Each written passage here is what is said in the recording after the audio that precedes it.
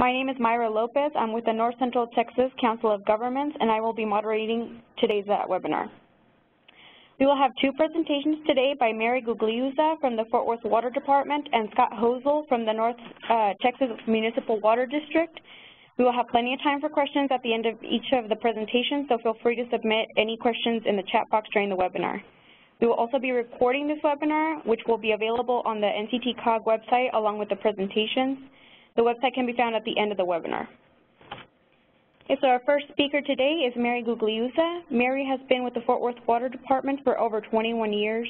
She oversees the department's internal and external communications. Among her responsibilities are media relations, crisis communications, public involvement, community outreach, education, and social media and web page oversight. Mary serves as the Vice Chair of the American Water Works Association Public Affairs Council and chairs its Media and Stakeholder Relations Committee. She is Chair of the Public Information Committee for the Texas Section of AWWA and a member of the Water uh, Environment Federation, Water Environment Association of Texas, and the Fort Worth chapter of the Public Relations Society of America. In 2011, she was honored with the George Warren Fuller Award by the Texas section of AWWA. Prior to joining the water industry, Mary's work background includes newspaper reporting, tourism marketing, and serving as a public information officer for a state mental health and mental retardation facility and a medical hospital. A native of New Orleans, Mary has a journalism degree from Southwest Texas State University in San Marcos. Okay, Mary, whenever you're ready, take it away. Hello, everyone. I'm going to um, walk you through Fort Worth involvement in the um, SSOI initiative of TCEQ. Um, I'll give you an overview of our system, talk about our regulatory history, um, talk more details about our SSOI program, um, and then at the end I'll actually uh, share with you a, a graph on um, the changes we've seen in our SSOI history through the years. So let's go ahead and get started.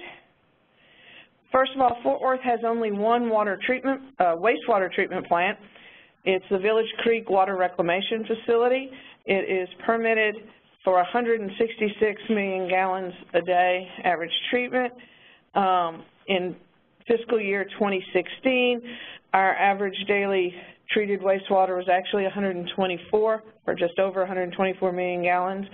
Um, the city is quite sizable with over 353 square miles, and then the ETJ is almost as big as the city itself with over 300 square miles in the ETJ. We do provide wastewater service uh, to 23 wholesale customers, um, and overall, including wholesale and retail, we serve over 1.1 million people. The collection system itself has over 3,300 miles of uh, lines, pipelines. Um, they range in size from about uh, one and a quarter inch up to 108 inch. While most of the system is gravity flow, we do have some force mains. There are nine major basins and 167 sub-basins, um, and this number on the manholes and junction boxes is actually a couple of years old, so it's probably quite higher than that now because we are continuing to grow. To talk a little bit about our past regulatory history, um, I'm actually going to go back beyond what this slide shows. In 1989, EPA actually requested Fort Worth uh, what our plan was to address wet weather overflows in the collection system. Um, but then in 93 is when they issued the administrative order, and we were given eight years to complete that. We actually completed it in seven. Um, the program actually began, the wet, what we call the wet weather program, in 1994. Um, in 96, we began our preventative maintenance program for the collection system. Um, and in 2000, we were released a year ahead of schedule from the um, uh, administrative order by EPA. The wet weather program cost us over those seven years uh, almost $216 million. Um, and then in April of 2007, we entered into the um, sanitary sewer overflow initiative with TCEQ. Our agreement was for 10 years, so it actually expires at the end of this year. We have been invited by TCEQ to reenter the program.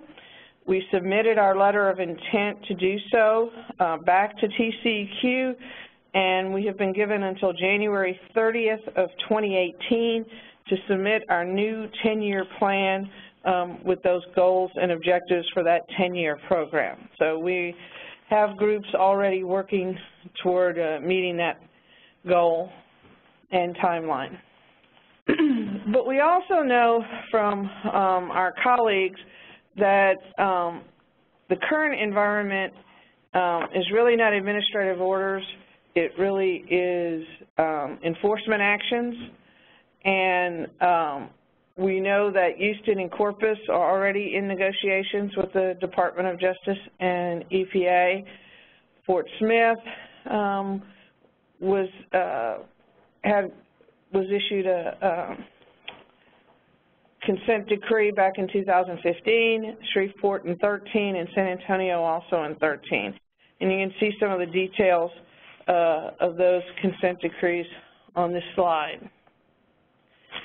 But we also know that regionally, EPA Region 6 is um, systematically going through the major dischargers or permit holders in the Dallas-Fort Worth area. Um, they started with North Texas Municipal Water District, and I'm sure um, Scott will talk more about that later.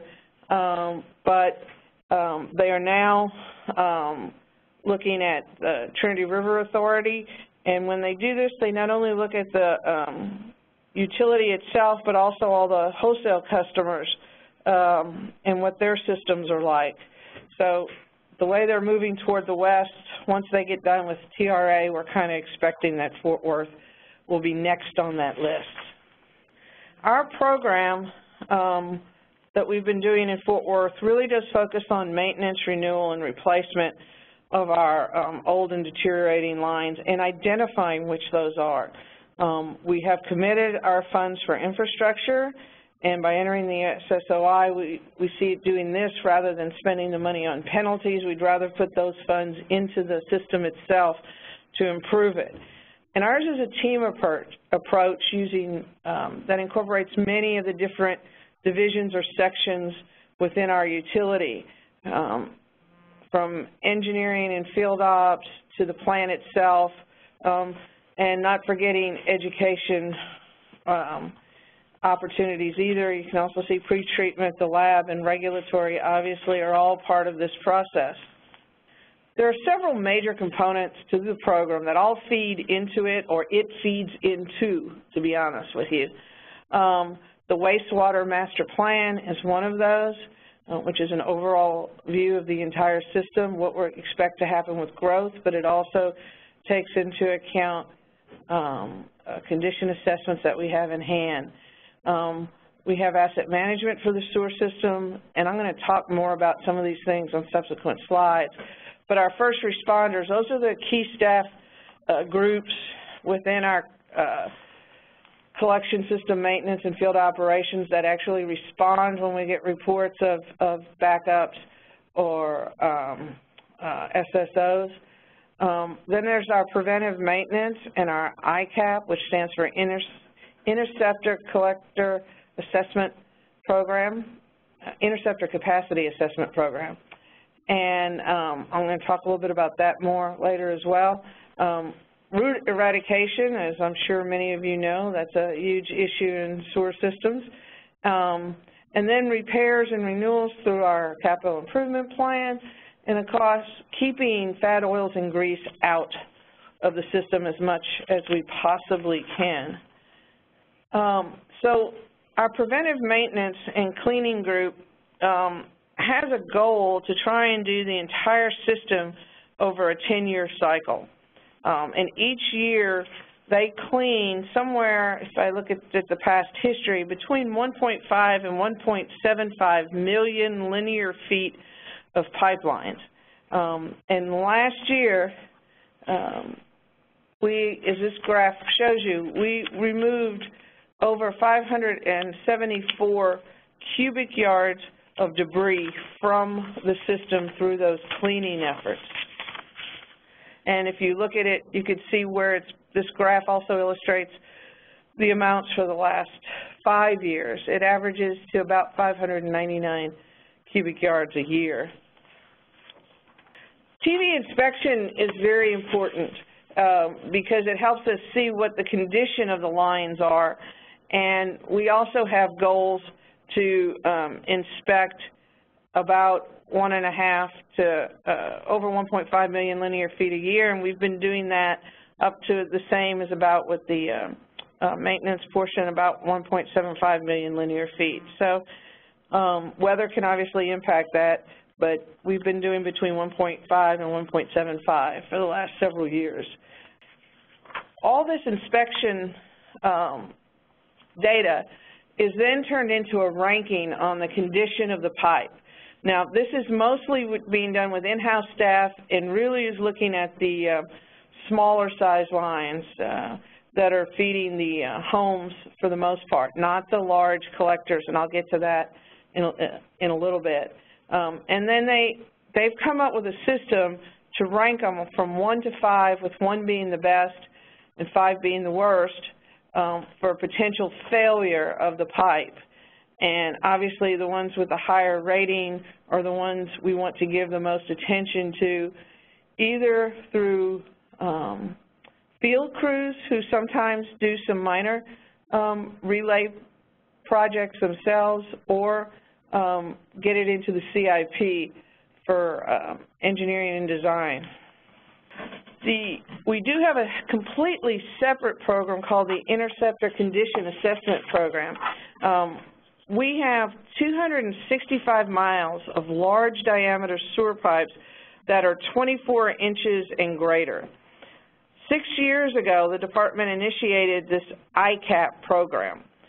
We use sonar, high-definition TV, and 3D laser technology that's mounted on a robotic system and is pulled through the interceptors. ICAP gathers data and integrates it into analysis of pipe condition that were not previously possible. The data enables um, Fort Worth to rank the pipes according to remaining useful life on a scale of 1 to 5. Though some of these technologies have been applied elsewhere to analyze failures after they occur, Fort Worth ICAP is the first in the U program is the first in the U.S. to actually determine pipe condition and useful life, enabling prioritized maintenance scheduling. And ICAP uh, is the largest known implementation of this technology. Um, so far, the um, the type of data, rather, that we're getting with ICAP is the interior pipe circumference, indicating how much corrosion has occurred along the pipe walls. Uh, it helps us to locate leaks and detects where rainwater is infiltrating these large um, interceptors. And it also has helped us by providing improved imaging of the pipe interiors. Through year five, we had inspected 862,671 feet of our large diameter sewer pipes. Um, we only do cleaning on the ICAP program if the sonar data depicts debris is present. Um, the remaining wall thickness is determined, and that helps us calculate the remaining useful life. Uh, finding issues before they collapse has saved us money, environmental problems, and potential enforcement issues. And also, this program was recognized with the TCEQ Environmental Excellence Award for Innovation Operations Management, um, I'm sorry, for Innovative Operations Management in 2016. Um, our first responders, they're the ones who go out to all backups if we get a report of an overflow inside a home or a business any issues concerning stops, stoppages uh, they respond to. They also do routine degreasing and root cutting and manhole inspections.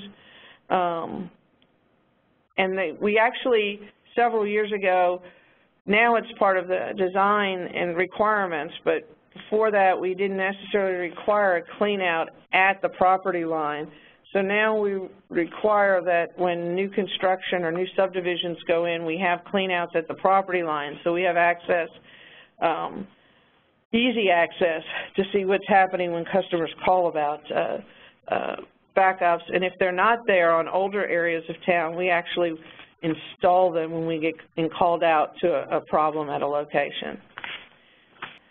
Um, we do have a standard operating procedure for dealing with SSOs. I, we would be very glad to share that with anyone who's interested in seeing the document. Um, this slide just highlights for you the major sections of that policy, and it covers pretty much everything, including um, severe rain event reporting, um, we want to make sure we're in compliance with the TCEQ rules um, for when public notification is required um, on, on severe rain events. It's always a challenge, it has been, how to determine um, the amount of an SSO. Our folks for numerous, for many years now have used this chart that they found uh, developed by a utility out in California who actually um, did the measurements um, to create the overflows to, to actually measure the volume. And our guys carry this with them in their trucks. Um, so when they're responding to an SSO, they actually know um, or have a better idea by looking at it and then looking at this chart to be able to compare um, what we think the gallons per minute is so we can report that to TCEQ.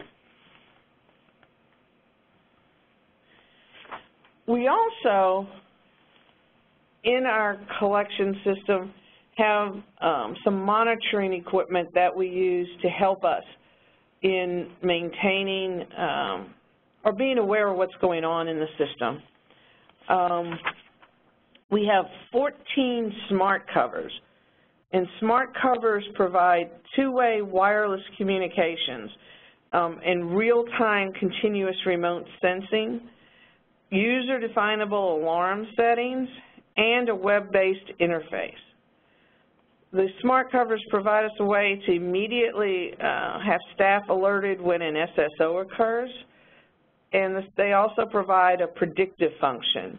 We're able to use the um, data collection and analysis uh, information so staff can identify emerging problems that could lead to SSOs and then this helps us address those problems before a spill can occur. But in addition to this, when it comes to SSOs, um, as I talked about earlier, um, the condition of the pipe is critical, um, knowing what that is, and, and so we can prevent collapses and such. And because of the factors that hydrogen sulfide can eat away, or the way hydrogen sulfide can eat away at concrete, we have nine OdaLoggers um, in our system. It's uh, so these log the amount of hydrogen sulfide gas. Um, the logger uses a built-in, and this is going to get a little technical, but there might be those of you on the phone who are, I'm sorry, on the webinar who are interested in knowing this. So it uses a built-in GSM modem to transmit logged hydrogen sulfide data to an FTP site for remote access. This allows for remote monitoring of the data from collection lines and treatment plants. It is designed specifically for harsh sewer environments. Um, using an external surface mount antenna, the data can be transmitted out of cast iron manholes. SMS text messages can be sent when user programmable alarms are met. The wireless transmission of the hydrogen sulfide gas concentration data is sent via a GPRS SIM card to the Internet. And we have the flexibility to see the data either in a graph or a tabular format. So that's really up to the staff member analyzing it, which way they prefer and which uh, to see it in order to interpret what it's telling them. Another very important part of our program that we've only been doing for about the last three years is we investigate every SSO, every stoppage or backup that's reported. Um, we look upstream, we look downstream, we try to figure out why this happened so we can prevent it from happening again. Um, there have been some cases where we've traced the problem back to, say, a um, commercial enterprise in the area, um, in which case we will bring in our pre-treatment staff um, to assist us in um, working with that business to make sure the problem does not reoccur or that they have the proper measures um, on site at their place uh, if, if that's necessary. Um, I think everybody can agree grease is a big problem. Um, and apartments and grease from apartments is a really big challenge for us. Um, we are trying to um, uh, figure out how we can tackle this. Apartments are not like restaurants. They're not plumbed separately to have a grease trap. Um, the tenants there, because they don't have ownership, uh, maybe um, don't take the responsibility of keeping the pipes clear like we would hope. Um, so we've actually decided, uh, we're going to be setting up some discussions with some other parts of the city, some other departments who have interaction with apartments. Um, for instance, we believe uh, in the last year, maybe two, started a recycling program um, with apartments. So we'd like to bring the folks involved in that in. Um, maybe some of the code compliance folks who have interaction because apartments in Fort Worth are required to be registered and inspected. And um, get the folks that deal with apartments in that way and see what we can do to, to help educate the management at apartments and get the word out to the tenants um, at apartments um, to, to help us make a dent in this problem because according to our field staff, uh, grease from apartments is a really big issue for us still. But all of this information is taken from um, the field, and when the projects are too big for the field crews to handle themselves, it gets rolled up to our engineering group and becomes part of the capital plan. Um, our current capital plan has about $169 million in projects. About 52 million of that 169 million is devoted to construction of large diameter wastewater collector mains. Um, there's about five different basins that we're looking at. I'm going to talk a little bit about one to give you an idea of some of the things we're doing in the in this area. Um, excuse me. But um, this does not include that 52 million is only the large uh, diameter wastewater collectors. There's other money in the CIP for um, rehab of smaller lines. This, this, again, only addresses the 52 million, specifically the large diameter lines. This shows you a few of the projects currently in the works and the cost associated with those. Um, Upper Big Fossil, Eagle Mountains Big Fossil, um, the sludge storage facility at Village Creek, um, and which isn't directly related, I guess that's more biosolids, but then the um, 96-inch uh, West Fork sewer line rehab. So one of the basins where we know we have some issues is our Village Creek Basin. Um, it actually starts well south of the city. Um, Crowley and Burleson are two of the wholesale customers um, in this basin. And um, this map kind of de defines the basin for you, and um, so you can see where those overflows are. Um, there are several that are very close to Lake Arlington and can get into Lake Arlington, Uh, there's two or three right there nearby it. And then there's some others that we're seeing downstream of the Burleson meter station. The, um, we break this basin down into three areas, actually, uh, lower, middle, and upper. Um, the lower basin, the part to the top, um, was initially a 39-inch to a 48-inch line that went in in 1957, um, concurrent with the construction of the Village Creek plant. Um, a 60-inch to 72-inch relief sewer line was built in 2006 to parallel um, the existing pipeline and provide additional capacity. Because of that, at the moment, we don't have any projects in that lower portion of the basin planned in the near future. The next portion would be the Middle Creek, the middle portion. Um, initially, it was a 36-inch sewer line that was constructed from 1957 to 1965. A 54-inch relief sewer was constructed in the 80s and 90s to parallel the existing 36 and provide more capacity, but we're still experiencing SSOs. Um, and the final portion is the upper Village Creek system, which basically goes from Everman down south to Burleson and Crowley. The Texas Water Quality Board, a predecessor, I believe, to TCEQ, required Burleson and Crowley to uh, close their wastewater plants and connect to the Fort Worth system back in 1971. The sewer lines were extended from the existing Fort Worth sewer lines located downstream of Everman to the Burleson and Crowley city limits. When we look at today, um, this map is basically the, the, the, pink or purplish area um, on the map is a new development where Tarleton State University will be uh, putting a campus in part of that over near the Chisholm Trail Parkway. Um,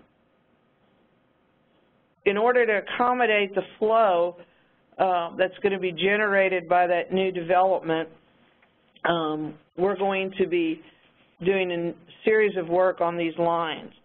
Uh, the plans to construct, construct a new main parallel uh, through the existing one in Crowley, then upstream of uh, that new line, Fort Worth, will cost participate. So over there, we're going to cost participate with developers um, to oversize the lines that they're putting in um, in the in that RLO uh, Rock GLO, which is the area where Tarleton's going to be, and then some other developers in that area. Um, to, we want to upsize the lines they're putting in more cost-effective for us. Once these projects are done, um, we'll be able to actually decommission two existing lift stations in the far part of South Worth, far part of South Fort Worth. Um, we are also going to be um, increasing the lines that we have that run through Crowley and from Burleson. And Burleson and Crowley, respectively, will be um, cost participating in that portion of the lines that affect them because they're seeing development, so they have a need uh, they're going to be sending us more flow. So again, the need for more capacity in the system in addition to our own development. I should point out the um, Tarleton, for instance, that development over there is actually going to flow through these lines that come through Crowley. The um, downstream segments of this are out for bid for construction at this time, and the upstream portions um, through Crowley and Burleson are um, in design, I believe. The middle portion of this basin, um, we're seeing um, it's from Everman up along the west side of Lake Arlington to um, Lancaster. And we've accepted RFPs for the design of the proposed improvements to this section uh, that include a lift station and a force main. Um, it's my understanding the consultant's been selected and we're negotiating an agreement now. Uh, while a portion of the work along East Lancaster is being funded with the um, State Revolving Loan Fund, the other portion is eligible for impact fee funding because it is uh, growth related. So really the issues in this basin are both um, rehab, the need to replace or improve aging lines, but also the needs to uh, increase capacity because of growth. And this just tells you we're looking at spending about $82 million for improvements um, in this basin. Now, keeping all this flow inside the pipes means it's all going to get to the wastewater plant and how is the plant going to be able to deal with that. So we actually um, have constructed a peak flow basin on our property uh, on the north side of the river from the plant. And um, actually, I believe we're going to be testing the basin this week. Um, so construction is almost complete on um, that project. Um, this project was kind of interesting. We had to actually, it's, it's a little hard to see, but down here in this part is actually a river crossing. So cofferdams had to go up to hold back the river on both sides. Um, it was actually pretty challenging for the contractor and took uh, about six to eight weeks to actually get across the river I can't tell you how many times they had to put up and take down those cofferdams because of the rainfall we were getting and the um, there's some pretty incredible time-lapse photography of watching the river rise and go back down um, because of the rains that were happening last fall when this was trying to be done across the river. They also had extensive, put in an extensive groundwater remediation system because um, that presented a challenge for them, and that white piping you see um, is actually part of that uh, groundwater remediation and trying to cross the river. We don't want to forget that um, outreach is an important aspect of what we do. Um, again, as I talked about apartments and working with those tenants, outreach is going to be critical as we try to reach those folks and get them to help us with solving those grease issues. Um, we do partner with COG uh, on their FOG initiative and have done bill inserts in our bills the last few years to um, help get the message out about the roundup that they do. I know for us, uh, our grease issues do rise with the holidays, uh, and I'm sure that's probably true for most of you. Um, but we need numerous things to try and get messages out, not just to apartments, but to all of our customers.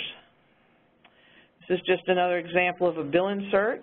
And actually, this insert will go out in bills that start next week and run for the next month. Um, try and get folks to keep their grease out of the system. Um, we also comply with the public notification requirements from TCEQ uh, on spills and accidental discharges and issue the news releases to the media um, as required. This rule has been in effect getting up close to 20 years now, I guess 18, and um, they did make some revisions to the rule about six years ago. And finally, all of this has, as a result of all of this work by a lot of folks for many years, we can say we have seen a steady decline um, and significant uh, in the number of SSOs we're seeing per 100 miles of pipe. Um, the FY17 number is not a final number because we still have two months worth of data left to put in that. Um, so that 4.2, as you can see, is the lowest we've ever been in the last 20 years. Um, it is within our goal of three to four and a half SSOs per 100 miles, so it's the first time we've actually achieved that goal. Um, unless something major happens in August and September's data, um, hopefully we'll be able to meet our goal this year. But um, we're pretty pleased with the progress that we've made in reducing those sanitary sewer overflows because you could see back in 1998 when we were in the throes of the wet weather program, we were seeing over 75 uh, overflows per 100 miles of pipe, so almost one per mile, not quite, but uh, getting up there. So um, we've seen pretty good results with our approach to reducing SSOs. And that is all I have. Thank you all. Thank you, Mary. So up next is uh, Scott Hoelzle. Scott has served the water and wastewater sector for nearly 20 years as both a consulting engineer and an operations manager for a public utility.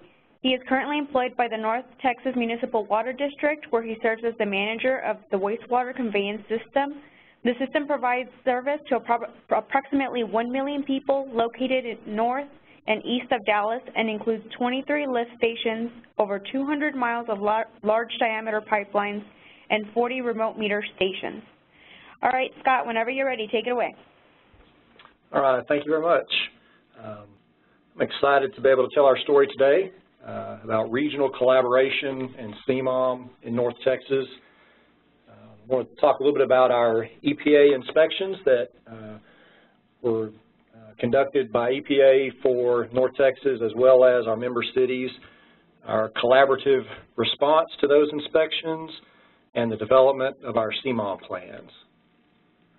So North Texas Municipal Water District is a regional provider for water, wastewater, and solid waste services.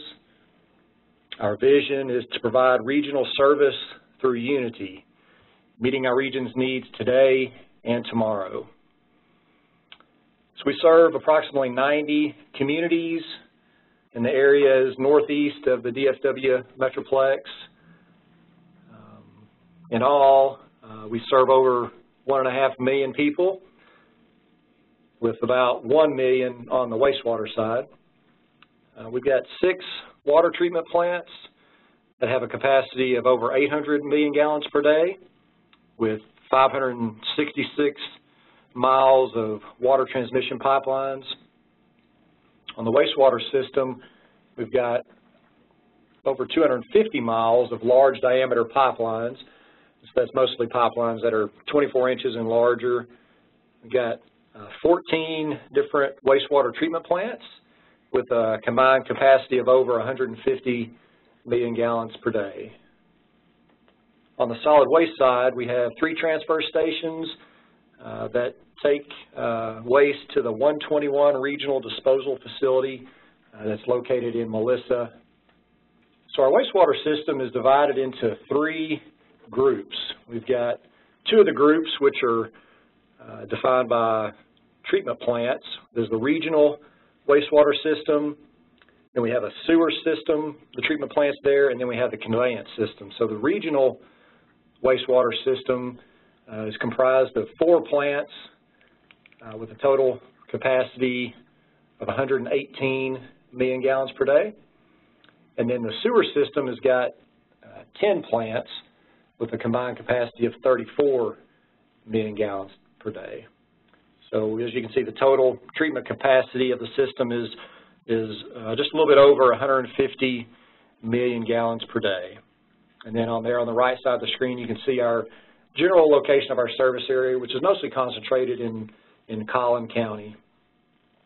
Now the wastewater conveyance system, which is the system that, that I manage, is really comprised of four separate systems. So the, the largest system by far is the Upper East Fork Interceptor System, uh, which is in the, the northwestern portion of our service area, and it includes uh, areas in Allen, Frisco, McKinney, Plano, uh, Prosper, uh, Richardson, and then the and there's a smaller system that's there, System B, is the Muddy Creek wastewater treatment plant system. It serves Murphy and Wylie, which is uh, the city where our North Texas offices are located, and our uh, water treatment plant.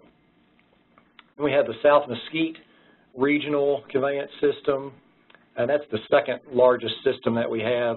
It includes uh, service for Forney, Heath, Mesquite, Rockwall, and Seagoville. And then on the far eastern side of our system, we have the Sabine Creek uh, wastewater treatment plant system, which serves the communities of Fate and Royse City. So the reliability of our region's wastewater system is critical for safeguarding public health, protecting the environment, and promoting economic development. Unfortunately, many parts of the country, including our region, experience sanitary sewer overflows. And those can be caused by many things, uh, aging infrastructure, grease clogs. Uh, we've also had lots of problems more recently with uh, rag problems, um, inadequate capacity, uh, poor construction, power outages. So there's all these causes to sanitary sewer overflows, and that's where CMOM and the SSOI program come in. These are set up to try to address these causes of sanitary sewer overflows. Now, North Texas participates in, in both of these programs, uh, the SSOI program, uh, which is administered by TCEQ, and the CMOM program, which uh, is promoted by the Environmental Protection Agency. So the SSOI program, as you can see on the left, uh, includes a lot of the same activities that are in the CMOM program. This on the left kind of roughly includes a lot of the items that are included on the, uh, the SSOI reporting worksheet that's provided by TCEQ. And then the CMOM program, which is on the right, uh, the C, MOM, stands for capacity, management, operations, and maintenance. And you can see all the components for each of those programs and how they really touch every component of your uh, operation and maintenance of your collection system. Next we have a map that's on the EPA website. And this map shows the sewer systems across the United States that have a greater uh, than 10 million gallons per day capacity. And this is an interactive map, so if you're interested, you can go online uh, under EPA National Enforcement Initiative and look under sanitary sewer overflows, and you can find this map and click on the dot if it represents uh, your community or somebody else's community and see the details that EPA has associated with your system. Uh, this is another graph that was pulled from the EPA website and it, I guess the main things to take off of this graph are, in all there's 1,103 systems that have over the 10 million gallons per day. And this, this graph shows the cumulative progress towards addressing those systems. So you can see the FY 2016 to the goal end date, uh, 964 uh, systems have been addressed and 63 systems have uh, EPA has initiated enforcement actions against. That's a total of 1,027 uh, entities, and so they're just short of reaching their goal to try to address all 1,100 systems. So EPA uh, came and did some inspections of North Texas Municipal Water District as well as our 12 member cities in 2014 and 2015. So this table here provides a little background on North Texas. On the far left are our regional wastewater system members, and those are the communities that were focused on uh, by EPA in their inspections. Uh, we have uh, regional wastewater system customers as well as sewer system participants uh, that are smaller scale um, municipalities in different um, and were handled differently. So when we were inspected by EPA, we knew there were there were three potential uh, approaches that EPA could take to, uh, for compliance. The first approach would be a letter, and the letter basically requires self-guided implementation, continued participation in a regional approach,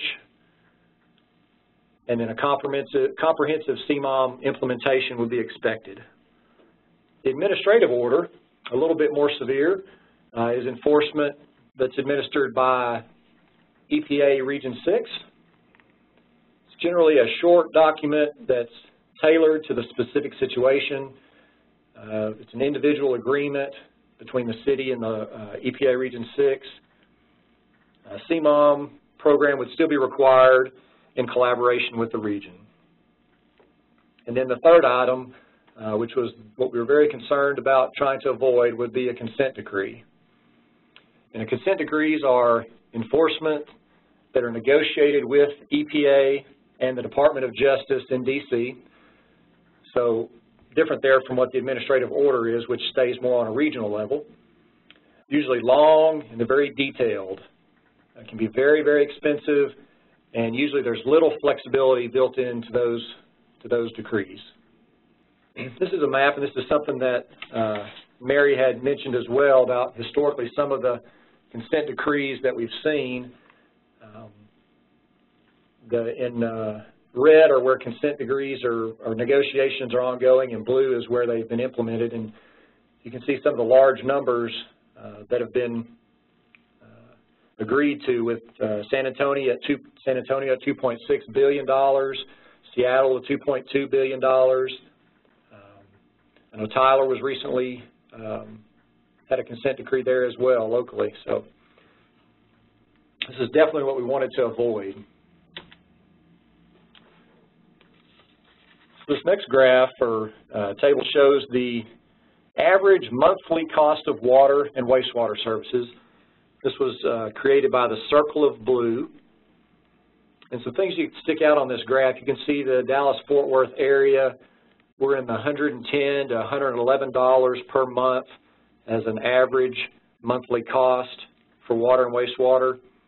Uh, but some of them stick out to us like Atlanta at $326, Seattle at $310. You may not be able to read it, but that box in the upper left-hand corner says that Seattle and Atlanta have the highest monthly or total monthly bills. Each is building costly underground storage facilities and treatment plants to comply with the federal requirements to reduce raw sewage that is dumped into lakes and rivers.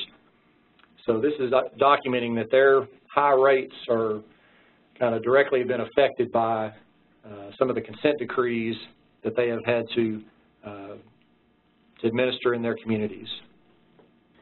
So after our inspections by EPA, we really worked to develop an understanding of what EPA's concerns were. And they were these as follows, the lack of regional coordination and specifically uh, addressing capacity management jointly for our regional system. EPA desired comprehensive CMOM implementation that was tailored to prevent SSOs by the district and the communities. And there was a need for ongoing system maintenance, which included condition inspections, cleanings, and rehabilitation. On the bottom right, you can see a depiction of the percent ownership of the conveyance system assets. So what this graph is showing is that 95% of the pipes in the whole uh, regional area are owned by the communities, where the district only owns 5% of those systems. Manholes, the district, 3%, and the communities, 97%. And then on lift stations, uh, the district 17% and the communities 83%. So if we were going to get a handle on all these issues, it was going to take buy-in by everybody to really uh, address it. So after we had a better understanding of EPA's concerns, then we established regional collaboration to respond to those concerns. So the first thing we did is we established a regional collaboration mechanism we started having monthly uh, wastewater partnering meetings, and we developed a wastewater work group of each of our member cities that met on a monthly basis. We developed corrective action plans for each of our systems. And one thing that's a little bit different than maybe some uh, approaches are is we shared these plans with the EPA. We tried to promote a very transparent approach to our corrective action plans. And then we met regularly with the EPA. Both North Texas and our member cities were meeting. We tried to be sure that we had each member city attend one of these update meetings to communicate with the EPA about what we were doing. And at those meetings, we listened very closely to what the EPA was saying, to be able to better understand that if we were in the right, going on the right track, that we were meeting their expectations. And then we formalized our commitment to a regional solution uh, through a memorandum of understanding. So this regional collaboration included a lot of different components, and these are just some of the components of that regional collaboration. Like I said, we created a memorandum of understanding that was executed by all the parties, and it committed, it demonstrated our commitment to each other and to the EPA. We worked together to develop a model regional CMOM program. We focused on the regional wastewater system members. Like I said, there were some other participants and things like that, but this was focused on our regional wastewater system members.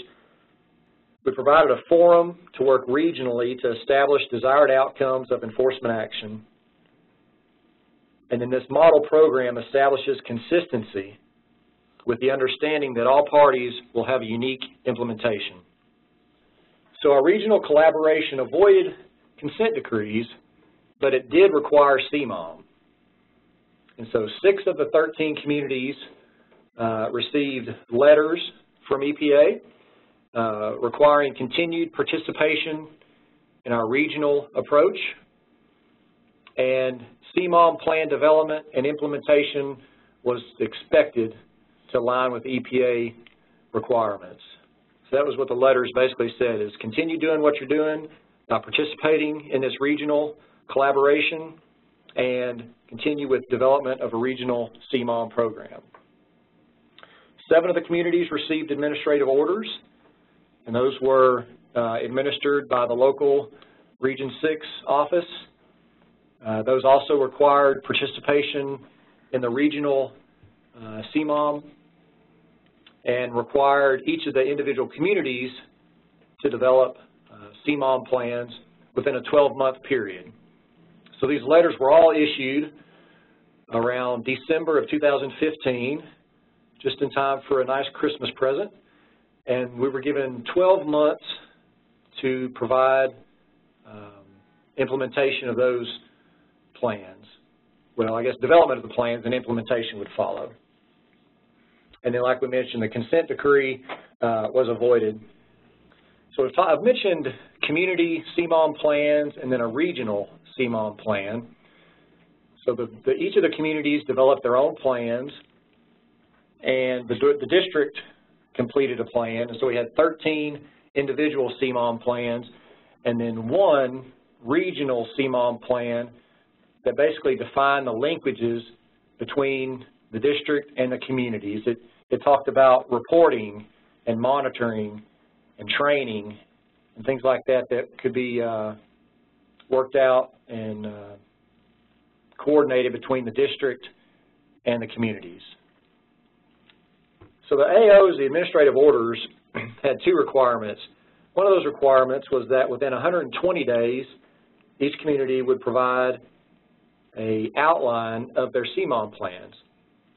And so the district and our wastewater work group met together and together developed an outline that could be provided to EPA. And that was provided in February of 2016 to meet that 120-day submittal requirement that some of the communities had. We also thought this, uh, we felt like the outline would be very important to try to keep each of the um, each of the CMOM plans to be very similar so that they could be uh, worked out together. And the model, we also provided a model CMOM, which was basically the uh, outline, but it included a narrative that explained the components that would be recommended for each of the different sections. And that was also provided in early February of 2016. and then at the end of the year, uh, within 360 days, the administrative orders required that each of those communities submit a CMOM plan uh, to EPA. And each of those were unique, but they did share a common outlines and organization for those. And while all the communities were not under administrative orders to provide their CMOM plans. Uh, all the communities committed to developing CMOM plans along that same time frame. Another activity that we coordinated uh, with the communities in our wastewater work groups were developing CMOM objectives. And so these are the objectives. I won't read them all, but uh, the first one there addresses areas of excessive I&I in the wastewater system. The second one is to develop and maintain adequate capacity. The third one, to maintain the wastewater collection system to increase reliability and to extend service life. The fourth one, to develop and implement standard operating procedures and train the staff. Another one of EPA's concerns were dealt with record maintenance. So we had a, a objective to maintain records of the work performed to measure our CMOM performance. We had a concern to be sure that all of the cities were and the communities in the district were providing adequate funding for operation and maintenance of their collection systems. And then the last one there was to provide public education about how their activities can impact the wastewater collection system. Now the regional CMOM, like we said, it kind of documented the linkages between North Texas and the communities, provided some background and historical information. It talked about how the budgets would be coordinated of the district and how those are communicated uh, with the communities, provided other communication and reporting guidelines. Another critical thing we did as part of development of this regional CMOM was we developed some critical standard operating procedures and we included those as attachments to our CMOM plans. One of those is a request for wastewater connections and point of entry protocol. We had procedures, but they weren't really well documented, so we uh, came up with this protocol. And then we needed to create a regional hydraulic model of the system, and so we came to some agreement on how that would be completed. And then improving communication whenever there is a flow diversion or an outage in one system that could affect another system, we documented some notification procedures for how we would communicate with each other uh, during those type of events. So this is a section I want to talk a little bit about our, our current, our initial implementation of our initiatives. So our written CMOM plan was completed in December of 2016. And one of our first initial implementation activities was to conduct lift station condition assessments. And those were done to establish uh, baseline conditions,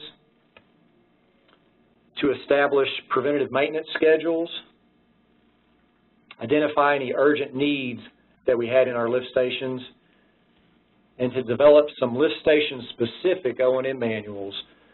So not just generic cookie cutter O&M manuals, but some that really got into the, the nuts and bolts of how we operate and maintain that specific station, how valves operations can affect that specific station, things like that. Another initiative we had was to do pipeline condition assessments.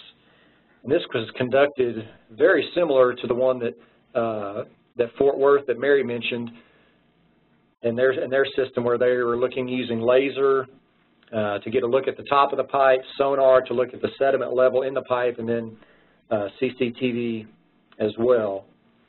And this was to try to establish a baseline condition for our pipelines, to have a better understanding of the condition they're in today, to identify any rehabilitation needs, and then also to identify cleaning needs.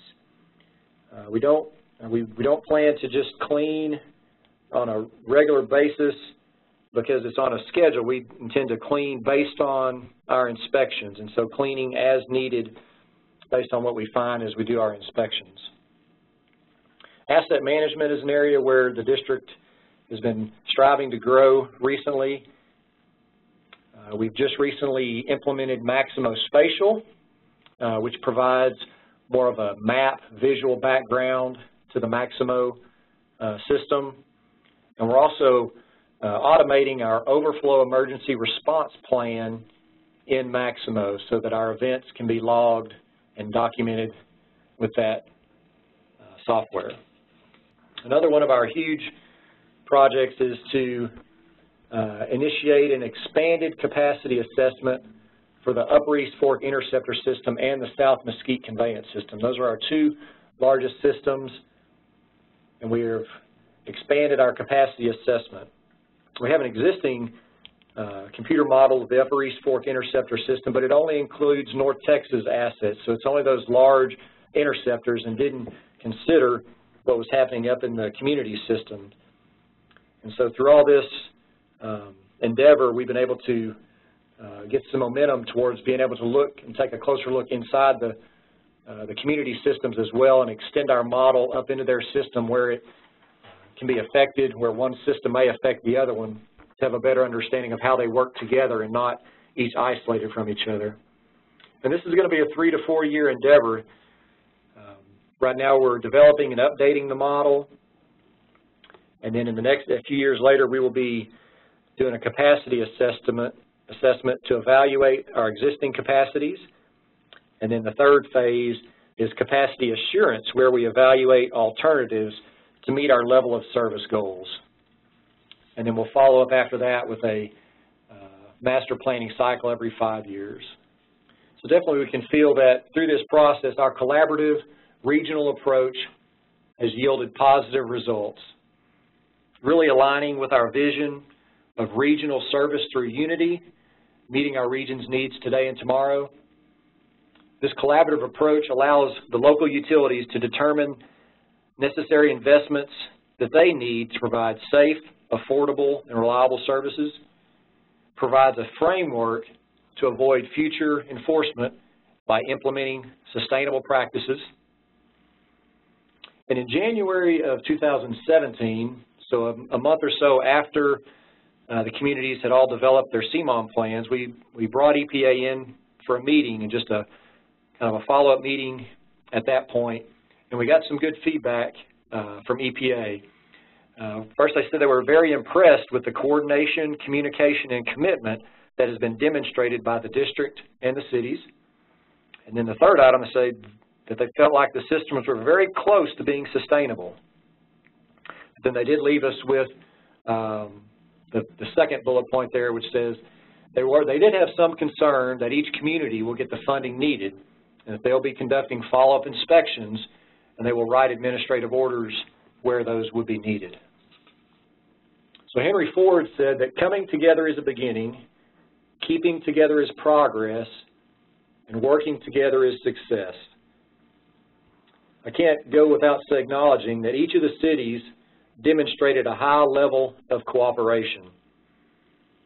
We had great cooperation among the cities, but not only the cities, but the regulators. The EPA was very um, supportive of our uh, approach that we took with the regional CMOM. And then we had also great support from uh, two consultants, uh, CH2M and Pipeline Analysis. And then also can't uh, close without two other acknowledgments. Uh, those are two of the co-authors on this paper with me, and that's Jenna Covington, who is our Assistant Deputy Director for Wastewater. And she was basically the brainchild behind this transparent, collaborative approach with EPA. And then Ken Hall with CH2M, he was the project manager on this, and he led our group in all the communities through development of the regional CMOM plan, and then he also specifically worked on the district's uh, CMOM plan. And with that, I've got, uh, be ready for questions. Thank you for that, Scott. Um, if you have any questions, go ahead and type them into the chat box at this moment. We're, we're going to go ahead and answer your questions. So while, while people are thinking, I do have one question already prompted here, and that is, does the SSOI initiative or SSO initiative protect us from EPA enforcement? And, and it does not. So if you look on the TCEQ webpage, here it says that a participating system will not be subject to formal enforcement by TCEQ for most continuing SSO violations as long as the overflows are addressed by the SSO plan. Note, participation in the TCEQ's SSO initiative does not preclude federal enforcement by the Environmental Protection Agency. So that's kind of a common question that we hear uh, about the SSOI program and how the TCEQ and EPA uh, jurisdictions overlap there. Okay, for Scott, how many, how much has the SSOI program cost the district and how much is the, uh, and how much does it cost the cities? Uh, I don't have the, the SSO, we don't have a specific budget for the SSOI program. Um, it's all part of our regional wastewater system and our uh, other conveyance systems budgets. It's kind of nestled all within there, so I don't really have a breakdown of the exact dollar amounts for that uh, particular particular item. But I know it has saved on enforcement actions by EP by the TCEQ. Okay, so we have another question. We're going to let Mary answer this one. The question is, how do we join the SSOI if we do not have a WWTP permit as we do not treat wastewater? Ours is into TRA and TWU. I, I do not know the details on that. I would suggest to contact Region 4 of TCEQ. Uh, I'm sure they would be glad to work with you on what it takes. I do know that our wholesale customers, when they report uh, SSOs, they include our permit number on their reports. Um, we ask that they copy us on those reports since it's under our permit number. Um, but I would suggest you contact uh, the TCEQ region office here in Fort Worth uh, for assistance in doing that, and I'm sure they would be very glad to assist you. Okay, and another question for Mary. How much has Fort Worth SSO volumes decreased over the same time period as your graph? Oh, that's a good question. I actually don't have that data readily available to me to answer your question. I can see what we can tell. I can tell you, though, that some of the SSOs we're seeing are still some of the larger ones because it's on the larger lines. Um, but I would have to, um, I, I honestly don't have that data from our folks on the volume component to it. Um, but that's a good question, and I'll see what I can do to get that data. Okay, so it looks like that's all the questions that we have. Thank you all again who joined us today, and thank you to our speakers. Um, today's presentation and recording will be made available on our website, which is up on the screen. Um, thank you again to everyone. Have a great day. This webinar is now closed.